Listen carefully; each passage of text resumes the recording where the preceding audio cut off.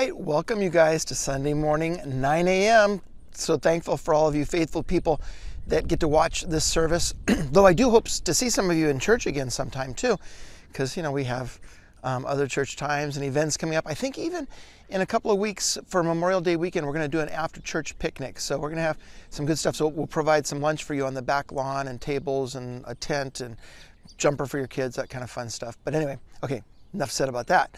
Let's go ahead and pray and let's get started with understanding and praying that Jesus knows our emotional state and he is in tune with that. He's keen to that and he's aware of that. And, and he also knows what's coming in the future. And so he sees the world, he saw the world, and he let the people know ahead of time. And he lets us know also what is to come and what to be prepared for. That we live in such a time as this, and how can we even be prepared for it? But we will be. Let's go ahead and pray. Lord, I want to thank you so much for your love. Thank you so much, Lord God, for the people that you've brought to listen to this 9 a.m. service. We ask you to bless the 10 a.m. service at First Love Calvary Chapel. We pray, Lord God, that you just bless all the ministry that um, our church does and, and my brothers and sisters who are listening, everything they do in sharing the gospel with friends and telling family members about you and doing good to people. And so, Lord God, I pray that you would help all of us, Lord, to live for you. I pray that you would help all of us, Lord, to be prepared for your coming, Lord God. I pray, Lord, that we would love your appearing. And I pray, Lord, now as we're talking about the week of the cross and yet also the end times at the same time, Lord, that you would minister to our hearts, minister to our thoughts, open us up, Lord God, to what you have to say to us for today. In Jesus' name, amen. All right, so the scripture is from the Luke, the book of Luke, chapter 23. And it says that there was this great multitude of people that followed him. so you picture as Jesus heading to the cross, he's carrying um, part of the cross, um, Simon the Cyrenian's carrying the other part. And it says that this multitude, multitude of people were following him. And says, and women who also mourned and lamented.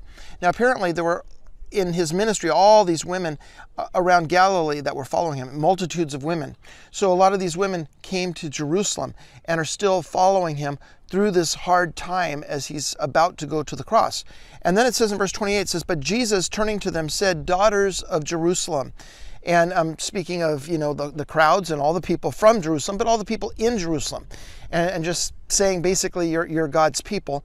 Do not weep for me but weep for yourselves and for your children. In other words, you're about to go through something. It says, For indeed, the days are coming in which they will say, Blessed are the barren wombs that never bore, and the breasts which never nursed. So the days are coming. What if we could know those days that are coming? What if we could know what was going to be upon us? And for them, blessed are the um, breasts that never nursed and the wombs that never bore. And in that particular instance, that's usually a sad thing, but during hard times, that would have been a good thing. And it says, then they will begin to say to the mountains, Fall on us, and to the hills, Cover us, because there's going to be such a hard time for them and for the whole world, not only for Jerusalem, like as we see right now, maybe, you know, nations plotting things and, and people potentially coming against um, God's nation and, and specifically Jerusalem according to prophecy, apart from what anybody thinks of, you know, the conflict on either side, we know it has much more to do than just um, the human um, drama and effect of, of sadness, but it has to do with God's plan as well. And so don't weep for me, but weep for yourselves, weep for your future, weep for your children, because there's days coming, there's hard days, there's black days, there's dark days coming where even having a family isn't going to be a happy thing.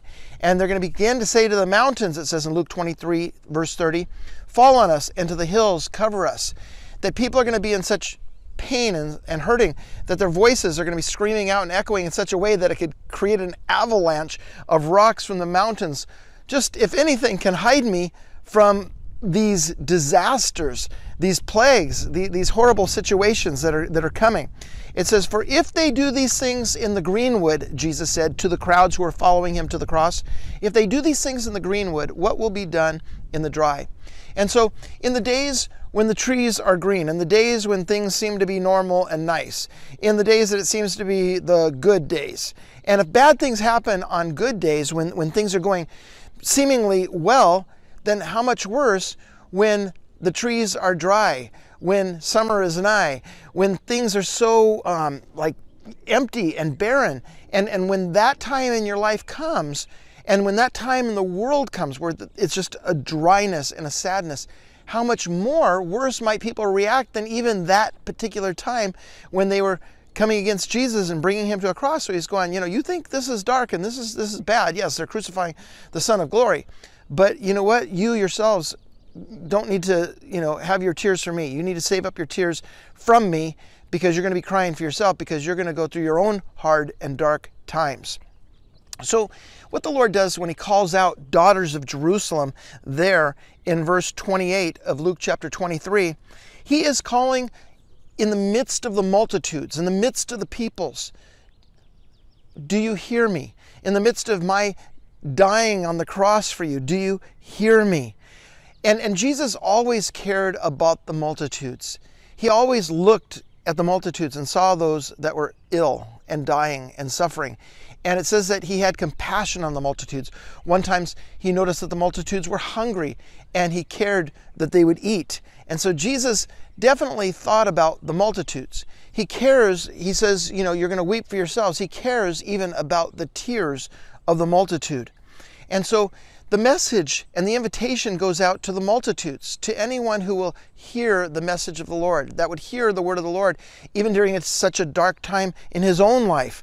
To everyone who will hear, take heed, listen, pay attention to the Lord, because he's got a message for the whole world. And specifically in this particular story, to the daughters of Jerusalem. I would imagine that even today, in some of the hardness over there in Israel, among the Palestinians and the Israelis. He's got a message to both sides of the camps there and, and both families that, you know, there, there's hard times coming. They've been here and now you're going to weep for yourselves. But what, what is that all about?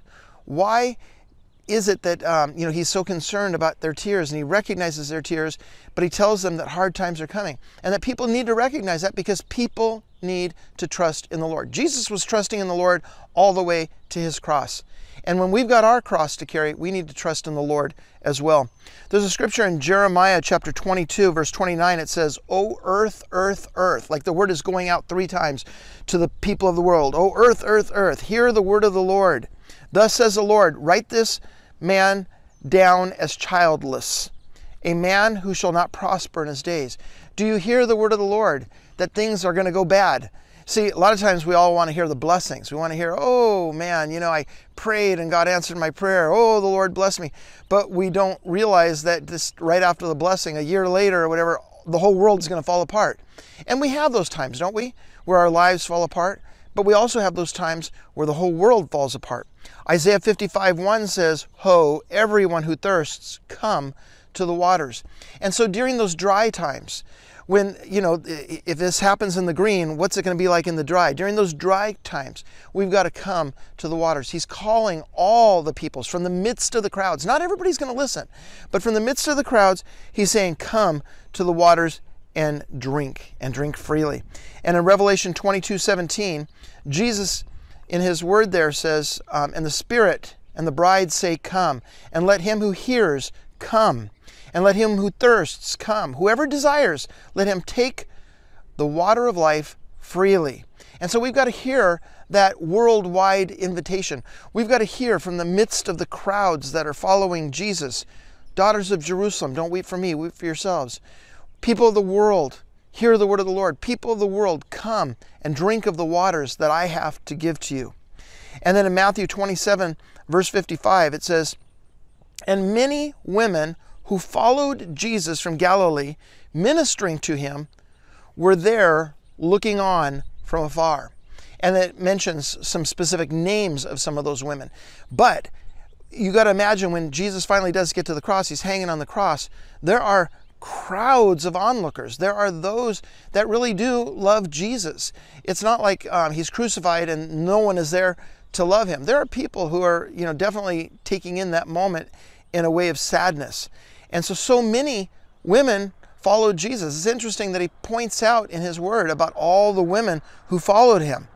Now, of course, among the crowds, some wanted him to be crucified, but also from among the crowds, there were some who just wanted to love Jesus.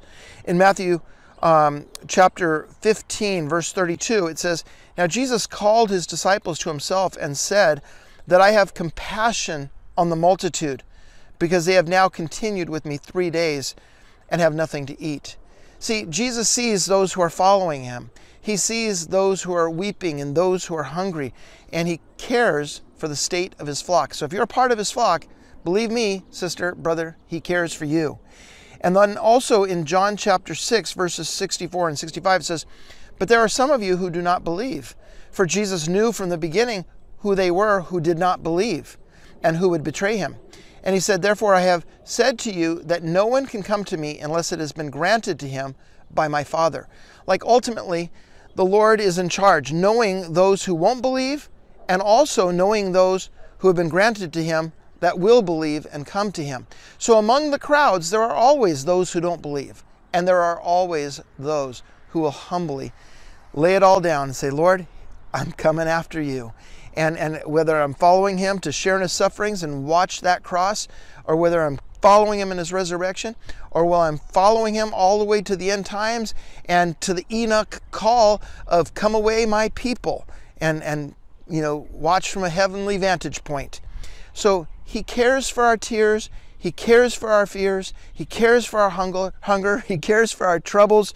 And He cares for all of our distresses. Jesus notices. Jesus is aware. And even in the midst of His own situation, He stops. He takes note and He gives a message to the daughters of Jerusalem. And the ultimate plan of God is to love those who came out of the multitude. For God so loved the world, the multitude. In Revelation 21, verses 3 and 4, it says, And I heard a loud voice from heaven saying, Behold, the tabernacle of God is with men, and he will dwell with them. And they shall be his people, and God himself will be with them and be their God. And God will wipe away every tear from their eyes. So, O daughters of Jerusalem, don't weep for me, weep for yourselves and for your children. But there's coming a time, well, I, recognize those tears and I will wipe them from your eyes. And there's going to be a time where there's no more death, no more sorrow, no more crying, because there's going to be no more pain. For the former things have passed away. And ultimately, there's the ultimate. That is God's plan. So He knows what is to come ahead for them with trials, and He knows what is to come ahead for them for glory, just as He knew it for Himself. And so sometimes love does follow another. And it mourns for them, it, laments for them. And when you would think that there was no love for Jesus, he's going to a cross. There, but, but there were those to love him. And he turns to that multitude who's following them and he speaks to them who love him. And he has a message. He has a message for their future. He has a message for our future. And the Bible, and especially in Revelation, right? But Matthew too, has a message for the future of his church. And so right now we might be mourning we might be lamenting. We didn't know that the year 2020 was going to come upon us. We didn't know what 2021 would look like and could it even be worse. And, and so we don't know these things because we don't know what a day brings forth, but we know the one who is trusted and we know the one who does know. And so sometimes that one who does know says, okay, put your tears aside for me because you got to cry for yourselves because it's going to get harder and it's going to get harder for you. And we don't like to hear those kind of words, but Jesus knows, and it's all, in all honesty, it's true. And so we've got to be aware of that and not just push away the negative when the negative might be being said in order to prepare us for it. So weep for yourselves and for your children because dark times are coming. And, and they're going to be sent your way. And there's going to be a whole lot more tears than you have right now. And so you're feeling bad for me, but to this hour I've come, so you need to accept this but there's an hour coming for you which you might not be ready for unless you really pay attention to what I'm saying. And and the Bible talks about trials and fiery trials that are about to try us to not be surprised by them. It says in 1 Peter 4:12, it says, "Beloved, do not think it strange concerning the fiery trial which is to try you as though some strange thing happened to you." Don't think it's strange means don't be surprised by it and think like, "Where did this come from?" No, I, I told you ahead of time, beforehand, that it was going to come. And so there's a lot that you'll go through. You will be having the three T's in your life. Those three T's are to be tempted, to be tested, and to be tried. Well, may the Lord bless you guys as you go through these tough times in your life, like the sisters of Jerusalem, the, the daughters of Jerusalem did, where they were tested and they were tried and they were tempted. And, and it says that Jerusalem would be encompassed about with armies, that the armies would surround Jerusalem. He knew that babies would be ripped from their mother's wombs. So, talk about tough times. I mean, it's tougher sometimes than what we could even imagine. But in all of that, he says, I'll never leave you or forsake you. In all of that, he is always there for us. And so maybe you found yourself weeping right now. Maybe you found yourself troubled right now. And maybe you've found yourself looking at the world and looking at the crazy times in which we're living in, and you say, The world's gone mad. The world's gone wild. Look at the governments of the world. Look at the people of the world. Look at the religion of the world. Look at the politics of the world. I mean, is there any stability? Is there any s- true conservative seriousness? Is there anybody who can, you know, get their footing again? And yet the Bible is so clear that Jesus gave a prophecy that there will be a time where the world will have perplexity and the nations will be in perplexity and they won't know the answers for themselves. But you and I, dear brother and sister, we know the answers. We know those answers for ourselves because those answers are written in the Word of God. And His Word is always going to be found true, though every man would be found a liar.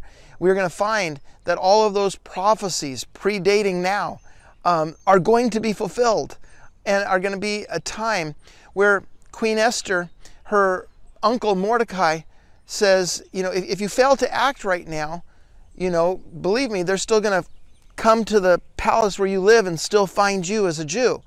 But how do you not know, Esther, that God has brought you to such a time as this? And so you and I, we get kind of caught up in our own quagmire of life, our own sufferings and worryings and situations. And um, even myself, you know, as those of you that know me, and I've kind of, you know, got sucked into, um, you know, some of the, the, the, sorrow and what that will bring. But I will tell you that um, God said there would be such a time as this. And, and how do you not know at this time, in the year 2021, in the history of mankind, that God knew that you would be born and be alive and be mature enough to lead others through it? to understand it, to point others to the cross and to the Savior of that cross. And so, yes, such a time as this is here, and it's before us, and it's a time to look up because our redemption draweth nigh. It is a time to maybe, um, you know, not cry for all of the things of the past and the things that you've lost and the things that you lack. And, and maybe there will be some tears in the future, like Jesus said, cry for yourselves and for your sons and your daughters. I've known people who have said, I don't even want to bring children into this time because, you know, it's, it's so bad. But I will say that even as a Christian, um, to be childless can affect your future in a negative way in an impoverished way. And so it is better not knowing that you know your, your job and your finances will save you and always be there for you but you'll always have a family there for you so it's good to have sons and daughters even though the bible in luke 23 um, kind of seemed to exalt the moment of blessed are those that are childless and those, you know, because they're going to be able to um, run away and, and not have all the weight of family hanging on to them. But the, the fact that you're going into your future and you're going to need to know how to not only tell others and run with others through it, but to minister your family and lift them through it. And to not hold back and say, well, I'm not going to have a child because you know what? You can still trust God in how to raise that child in a very negative universe, in a very fallen world, in a very antichrist society. And when I say that, I mean how people are anti Christ. And so, um, may you find strength. May you find the mercies of God. May you lift up your head that droops down like the daughters of Jerusalem because you're weeping for yourself and for your children. And may you look up with anticipation because he is coming from the, the clouds of heaven and in the clouds of glory and he is coming to once again set his feet upon the earth there in Jerusalem. And so that same Jesus that left will come back in like manner as they saw him go. And that same Jesus will reveal his nail pierced hands. And so all of us now, now is the time. Now is the appointed time. Now we need to worship the Lord. Now we need to turn from wicked ways. Now we need to put our eyes upon the author and the finisher of our faith. Because now we might be weeping. Now there might be more tears into our future. But if we've got the one in our heart who wipes away the tears from our eyes, then we have everything we need. Because Psalm 56 says that he stores our tears up in his bottle, meaning that he doesn't forget one tear that we shed. He's fully aware, fully compassionate. And so he has pulled you and I from the multitudes. He's taken us and set us apart for salvation. He's looked at us and he's seen the world and the fallenness of the world and the brokenness of the world. And he's seen it all. And he's going, This one right here I will touch. This one right here I will have my hand on. This one right here will know my love. This one right here will see in all of their sorrow and their weeping that I am their answer, that I am their hope, that I am their reward. And they will find that all they need to do is keep looking to me, never stop looking to me, keep hoping in me, and know that their expectation will not be deferred, but it will be met.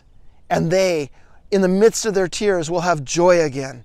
They will have rejoicing again. And they will find that they might have wept for a night, but God brought the joy to the daughters of Jerusalem and the joy to you in the morning. Oh, yes, we need to pray for that peace of Jerusalem. Oh, yes, we need to look when armies encompass and all of that. This might not be that particular biblical story right now in the year 2021 when we look over there at Israel, and oftentimes we always look and, and kind of hope is this one of the biblical scenarios unfolding?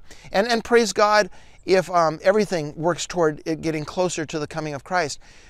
But then again, it may not be, and it, it also may be, because the way domino effects work is that one thing can affect another to the point where all of a sudden we're just in it.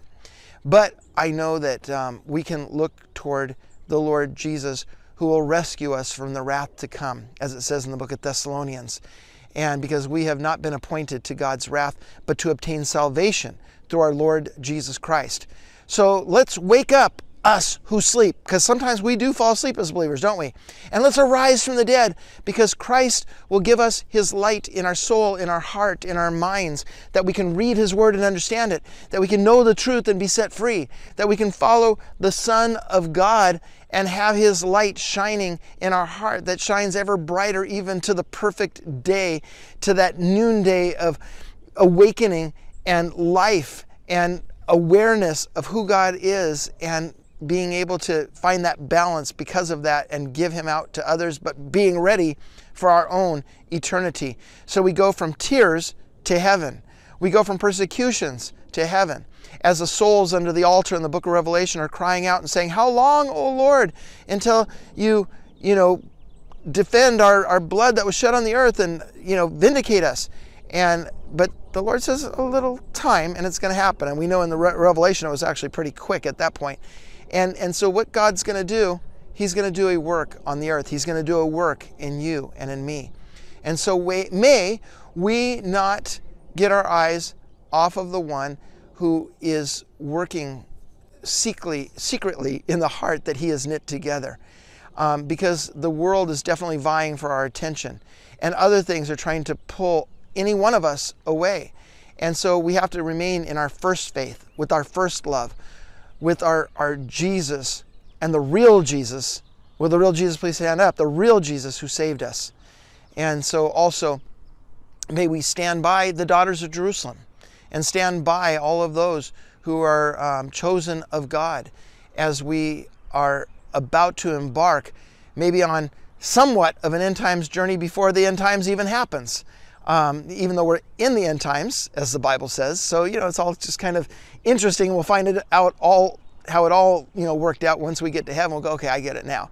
Um, but in the meantime, you know, don't weep for me, Luke 23, weep for yourselves and for your children, daughters of Jerusalem. And, and, and talking about the children part of things.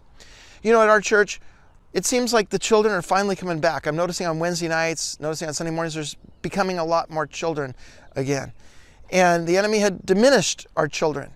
And, and now, you know, but, but those children need to know about Jesus. And when those children themselves cry because of some of the times that are going to happen, maybe their mother or father will be lost to um, some sort of a, a, a weapon. And, and in, in that particular case, as, as believers begin to fall, and even little kids, hey, where's my, my, my parent? As long as they know about Jesus, they're going to know who to cry out to and they're going to know who to turn their tears toward. And so let's make sure we tell the little children to come unto Jesus for sure. Got that? All right, you guys. Well, I know it's kind of a short one here, but what happened was my um, computer went dead while I was talking to you, and so lost all my notes. So I had to just kind of share um, from the heart. But um, 10 o'clock we'll have the full message and also the heart as well. Um, and we have a 5 o'clock service too at First Love Calvary Chapel on the corner of Hadley and Milton. Um, so remember, at the beginning of the message, I said Memorial Day weekend, we're going to try. Um, you'll know for sure by next week, but we're going to have a picnic on the back lawn after church. We're going to provide um, lunch for everybody in a tent and a um, you know fun and moon bounce for the kids, that kind of stuff. So that will be Memorial um, weekend. And so let's go ahead and pray and let's pray for salvation. Lord, we just pray in the name of Jesus right now that you'd bring salvation to every home who's watching. Lord, I pray that um, you would help those that are backslidden and those who are lost to come to you, even through this prayer that I'm going to pray with them right now. And so, everybody just pray out loud, whether you're a believer or not, and let's just say, Dear Lord Jesus, be my Lord and Savior. Dear Lord Jesus, be my rescuer. Dear Lord Jesus, you died on the cross for my sins. You rose again from the dead. And Lord, I have blown it. I have sinned. I have sinned against you. I have broken the commandments of God. I have lived according to this sinful world and according to the prince and power of the air. And now, Lord Jesus, come into my heart. Lord Jesus, I rededicate my life to you.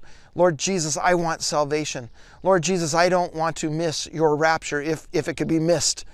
And Lord, I want to be the one who said yes to you. I want to be the one that has your blood upon me. And so, Lord Jesus, please save my soul. Or, Lord Jesus, please, I rededicate my life to you. In Jesus' most holy and precious name, I pray. Amen. All right, God bless you guys and have a wonderful, wonderful day in Jesus. Okay? God bless you.